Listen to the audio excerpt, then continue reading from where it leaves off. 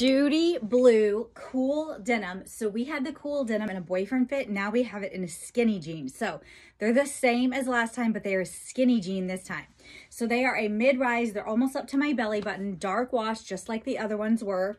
Um, no destruction again. And skinny jeans. So I have them cuffed. They do unroll. And they are the super lightweight. So they stay, um, they stay cooler than like a regular denim. And they're kind of cooler to the touch than a regular denim. They're just lightweight, more breathable in the hot summer months.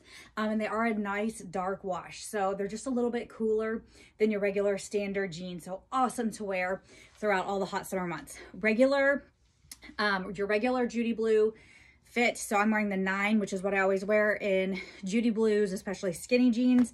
So you're to go with your regular um, Judy Blue size. I wear a 10 in all like other pants for the most part. And I wear a nine in Judy Blues and it's perfect. They're super, super stretchy like Judy Blues are.